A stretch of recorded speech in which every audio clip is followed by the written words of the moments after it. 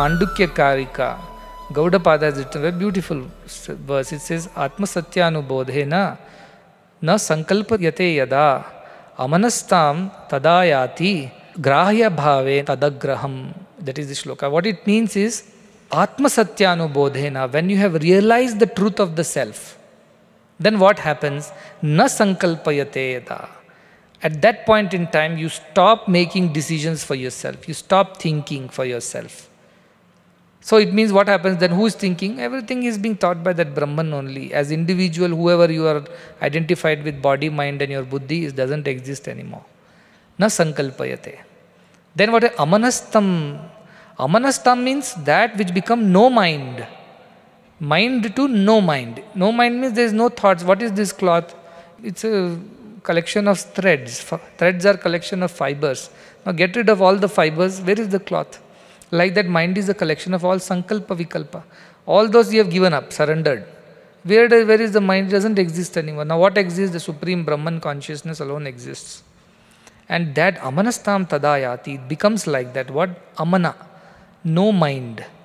And then grahya abhave tad agraha. Because then there is nothing to grasp. There is no desire for anything. There is nothing to. Mind alone is the reason why we want this and we want that. But there is nothing. Indriyas exist, but mind does not exist. So Indriyas don't have any control over you. They can't tempt you anymore. And your buddhi is merged in the Shanta Atmani. So all consciousness only operates through you.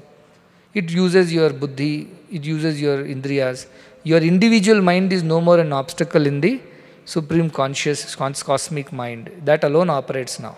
So this is the methodology. So a mind which becomes no mind alone becomes that when one realizes Brahman. Before that, it doesn't become that.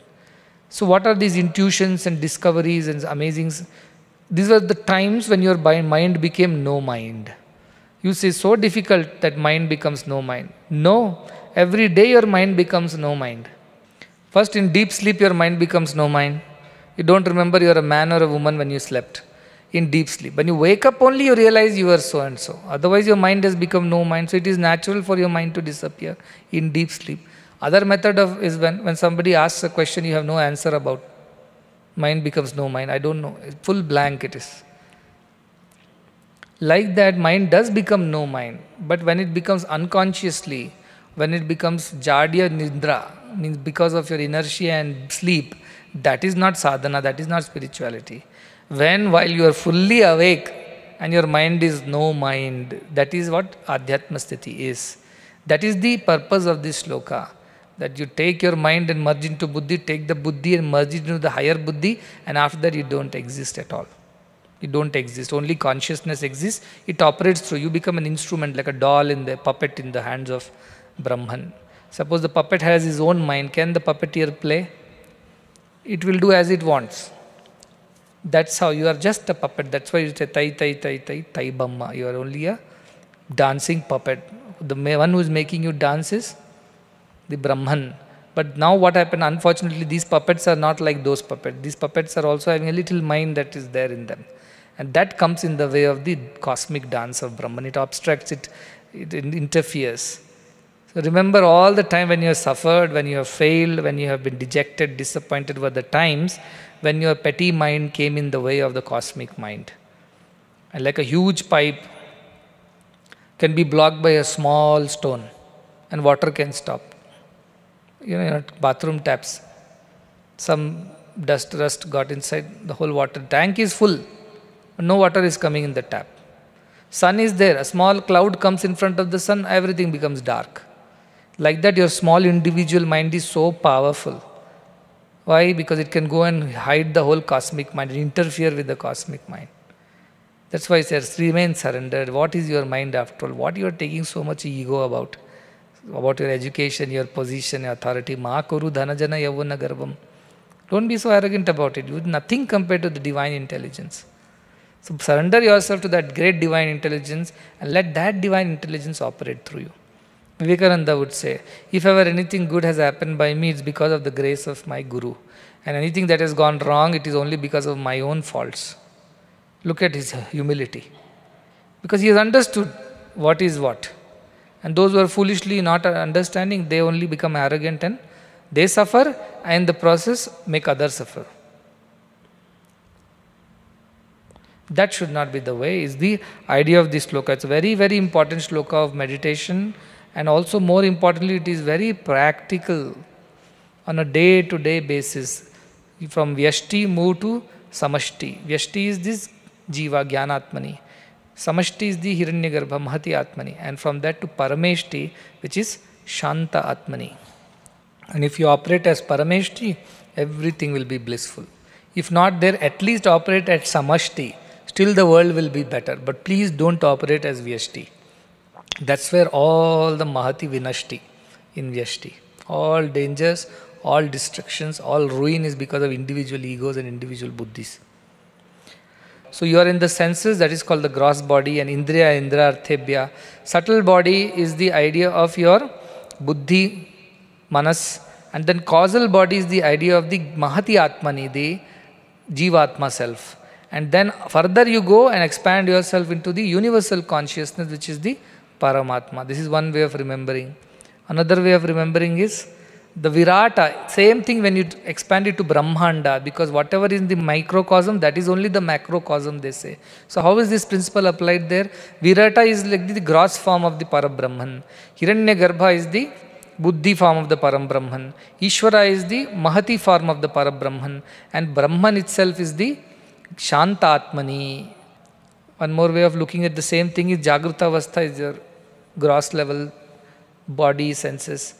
The Sapna Avastha is where the mind alone is operating. Sushupti avastha is only the Buddhi, Jivatma Buddhi is operating. And beyond that is the Turiya, which is the Shantatmani or the highest of the consciousness operating. You can think like that. So this is the way you can imagine how cosmic the Brahmanda is also into the in the Pindanda. Whether you take it as the three avasthas, or you take it as the three kind of bodies, or you take as three parts of the creation. That is Virata, Hiranyagarbha and Ishvara. So you can see that there is a cosmic, when Hiranyagarbha was created, Virata was created, Ishvara was created, there was a blueprint for the entire universe in that. Like a seed contains the entire information of the tree, like that the very first act of cosmic creation from Brahman to Ishvara to Hiranyagarbha to Virata is the similar thing as coming from Paramatma to Jivatma to Manabuddhi to Indriya and Indrayarthebhya. Also in the same way you can think it is same as Turiya and the Sushupti and Swapna and Jagrata. Means in all times this blueprint of four is operating. 3 plus 1 is always operating whether you are in sleeping state, waking state, dreaming state, whether you are doing decision making, whether you are just merging as the Paramatman. In all times and places this principle of 3 plus 1 is applicable.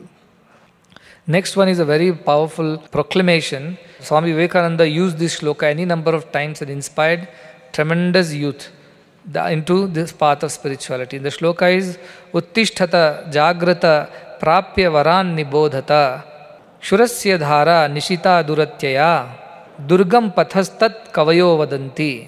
Yes, the whole essence of what Swami Vivekananda says was Uttishtata Jagrata. First he said, get up, arise and then Jagrata, awake. You will think this is something wrong because generally first we have to be awake, then we will arise from the bed. First we have to come awake, isn't it? Then only you will get out of the bed.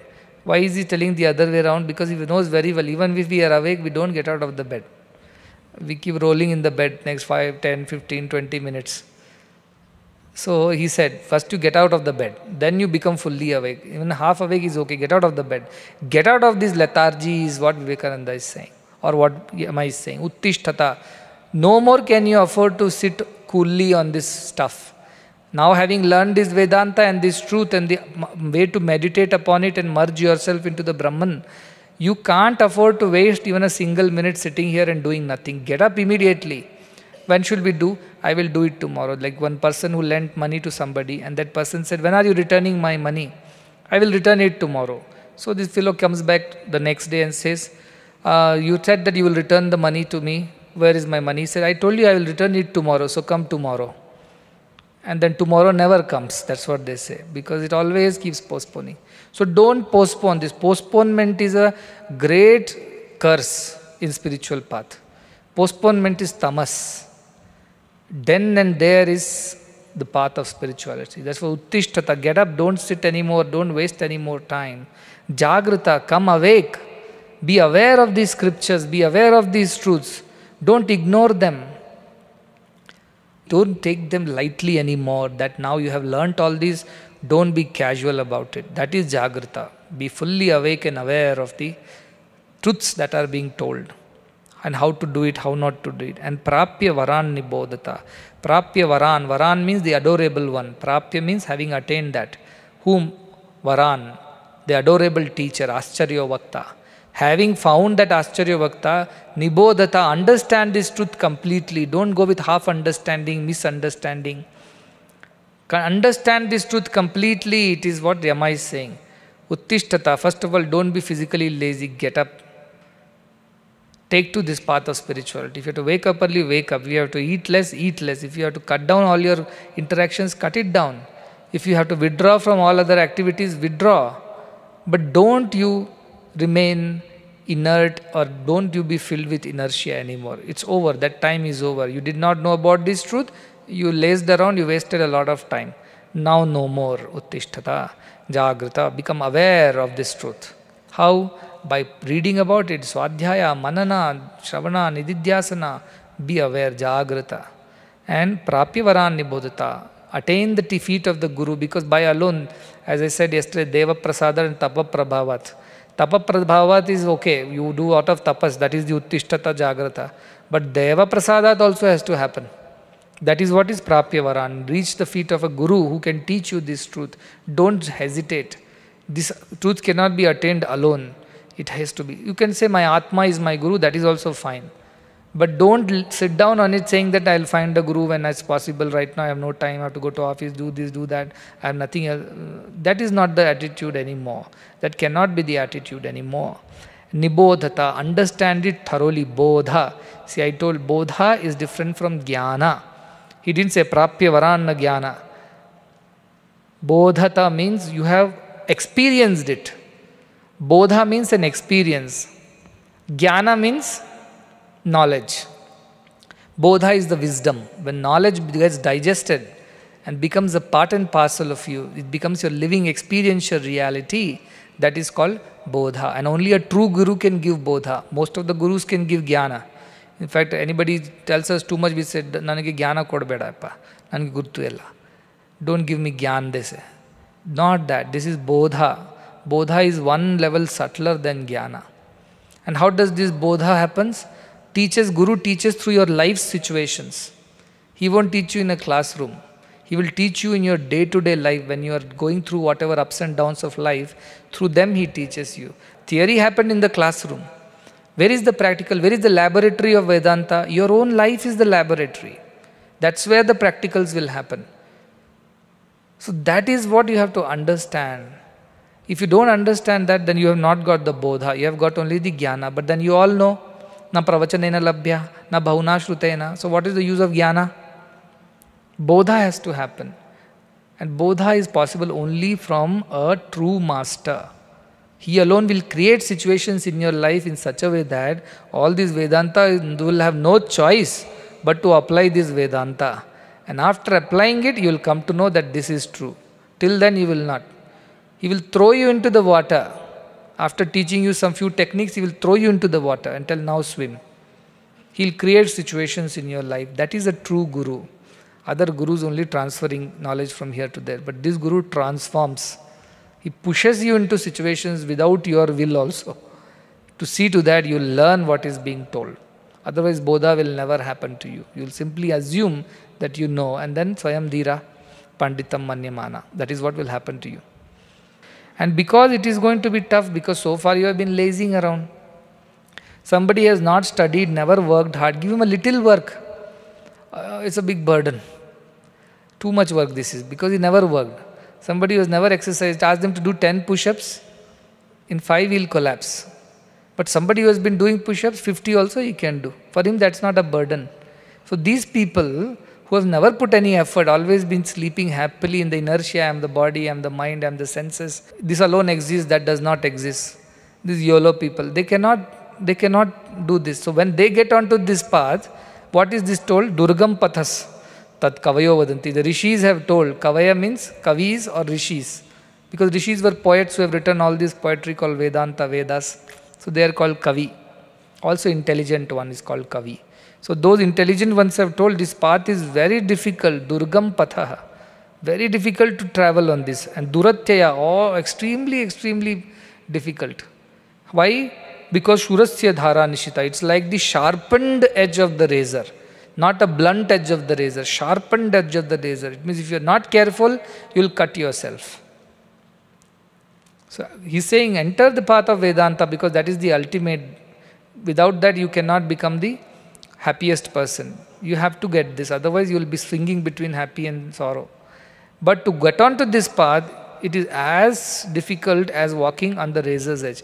Now, you would think, why at the end of this whole Kathopanishad classes, Yama is being so, you know, almost threw cold water on all our enthusiasm. Uh, too difficult this path is, not for everyone, and things like that. So, is it for me or not? Am I going to cut myself or I will cross over? All these questions may arise in you. The idea is to make sure that you understand this path correctly. Understanding this path means what? without having done enough mananam, without having done enough didyasanam, you think you want to attain it, it's not going to happen. That is why your efforts should be so, so, so focused and pointed. You have seen rope walkers, people who walk on a rope. Suppose that for a moment also that ladies or the boys gets distracted. For a moment also he sees people are watching me or not, they're clapping or not, or thinks about some problem or thinks about what money is going to earn balance will go. And what will happen to that person? He'll come straight falling down. So walking on a rope itself is needs so much of your focus and attention and no scope for any laziness, no scope for casual thinking, no scope for any loose way of doing things. It needs that complete focus and attention to walk on a rope itself, it takes that much. Now think walking on a blade. It means you will not cut yourself as long as you walk correctly.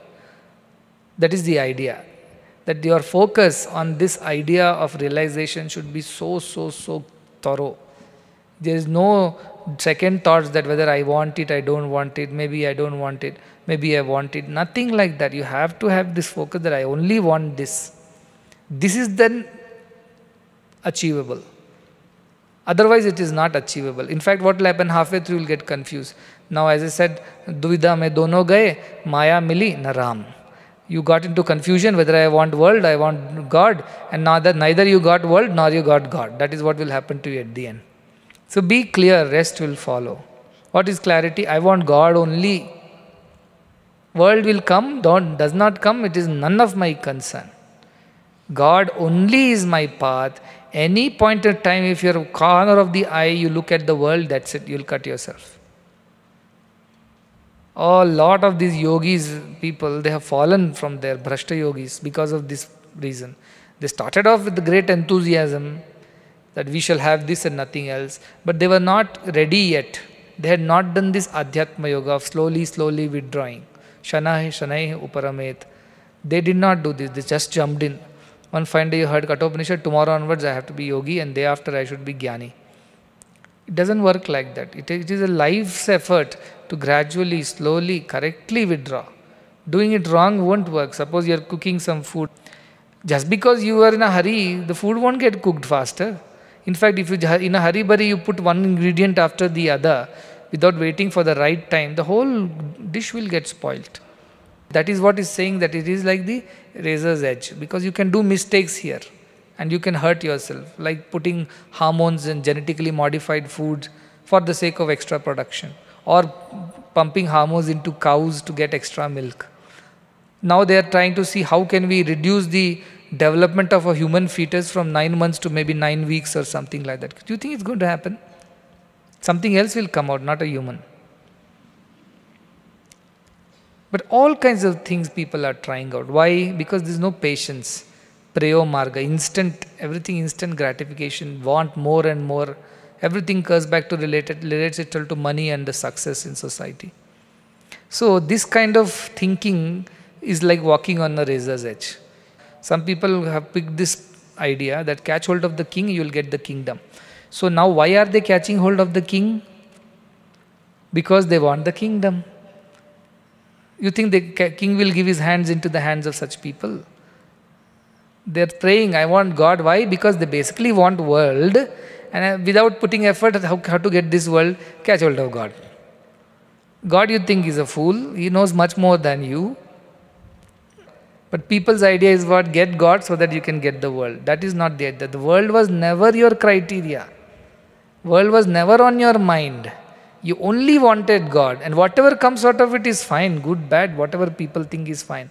I just want God. Those who think like that, they alone should walk on this path. Anybody else who thinks any other way, for them it is as good as a razor's edge. I am warning you, says Yama. If you have this much doubt also that maybe you want the world also, then better not enter Vedanta, is what Yama is telling. You will be confused, neither you will get the world nor God. You will be some confused, heartbroken deranged, mentally disabled sannyasi uh, in some part of the world. You will not get this, not get that. So be very clear, he says. So all those fellows who thought till now, yes, we will get this and also we will get that, know for sure that you are not going to get both. You will get only one. If you pick God, pick God. That's it. That is the only. God is the only choice. Not God is one of the many choices. Somebody said, make God your priority. No priority. Priority means in the list there are many things and you have prioritized God over everything else. That is not the word to be used. God alone is my choice. Everything is not even in my scope of thinking. Whatever happens after that is God's wish. How does it matter to me? Whatever comes out of it is His wish. Draupadi's last choice was Krishna. First choice was Dharmaraja. Second choice was Kuru dynasty people. Third choice was herself, trying to protect herself. When nothing worked, then only Apad Bandhava Krishna. But her ego did not allow her to ask for Krishna's help right in the beginning. That is what the problem with all of us. We want God and also all the world, and when nothing comes to our hand, then God. Have God, that is all that matters at the end. All this world will become one big zero at the end. And then that is when you'll realize that's why this is deaf because the attachments to our ideas of life, body consciousness, mind consciousness, desires is so difficult to get rid of. That is Durgam Patha. Vedanta is not the Durgam Patha. Durgam Patha is the problem with your mind which is so attached that it cannot go. So it will swing this way, that way. How can you rope walk if your mind is distracted? That's why nasamahitaha, nashantaha, nashantamanasaha, all this was told in the beginning only that see these are the conditions if you are agreeable to these conditions, then you enter. Anywhere you go, now terms and conditions apply. These are the terms and conditions. What? Yamayavesha vrunate. You ask only for me, nothing else. Two, because you want me, nadischarito, na shanto, na samahitaha, na shanta manasa. All this you do. And then what? Slowly, slowly walk on this path. How? यछेद्वांग मनसी प्राज्ञस्तद्यच्छेद ज्ञान आत्मनि ज्ञान आत्मनि महति अच्छेद तद निच्छेद शांत आत्मनि slowly slowly walk on this path if you hurry on this path you will cut your self slowly with age habits come and with age habits go also in rainy season call clouds come in summer season the disappear so with age then what should you do curb curb how reduce the I eat sweet every day. No. Now onwards, I'll eat sweet once in a week. Slowly, I will eat sweet now 15 days once. Now one month once. Now what? Two months once. Like that slowly, slowly, shanai, shanai. That is why it's saying Indriyartha, Indriya, Indriya to mind, mind to buddhi, buddhi to Mahati Atmani, Mahati Atmani to Shantatmani. It will take time. If you rush, you will cut your hand. If you don't rush, go slowly, carefully, without getting distracted, you'll definitely reach. That is the idea of Durgam Pathastat Kavayo Vadante. But idea is that this is the most important shlokas. The Kathopanishads, the crux is these last three, four shlokas, how to do this Adhyatma Yoga and how to merge in that ultimate realization of supreme consciousness, which is Brahman. And you hurry in this path, you try to overthink, you're over smart, you will be done. Because this path is so, so, so very precarious.